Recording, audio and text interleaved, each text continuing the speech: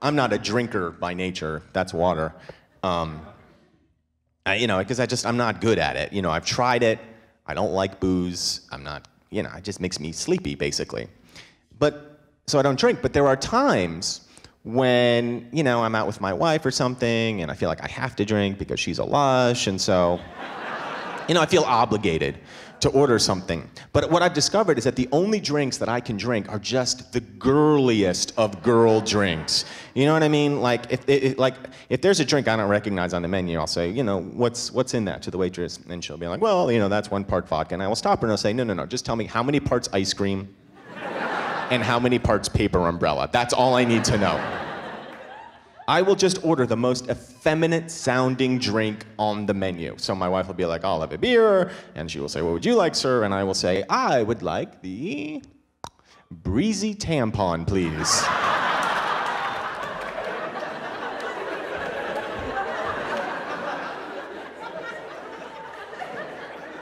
Not sure what would be in the breezy tampon exactly. Tomato juice, I guess, probably would be. Oh, what? That's not what I meant, you guys. I meant that the tomato juice would represent menstrual blood. Okay? But it would be cute because it would be served with a little maraschino fetus, you guys. what? Too much? Zygote, is that better? Well, because if it's a zygote, you're not as emotionally invested in it. You know what I mean? It's just. I want to have my own drink named after me, because you know they have those. They have those drinks named after people, like uh, you know the, the Tom Collins or the Harvey Wallbanger. I want to have the Michael Ian Black, and I figured out what it is. All it is is an Ambien dipped in Cool Whip.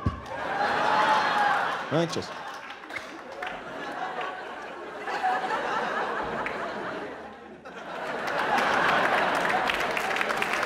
That would be a good drink. That would be a delicious drink. They do a nice job with this Ambien product, you guys. I know because I take it recreationally. And what I've started doing is playing this game, which I will teach to you. It's called Ambien Racing. Here's how you play on your drive home tonight. Oh, some of you know this game when you get like 15, 20 minutes away from your house, take an Ambien and then just try to beat it. really fun and makes the last part of the drive go really fast, you guys. Because yeah, I, I don't I don't drink and I don't do drugs, but I'll take a pill, you know? I'll take any pill, you know what I mean?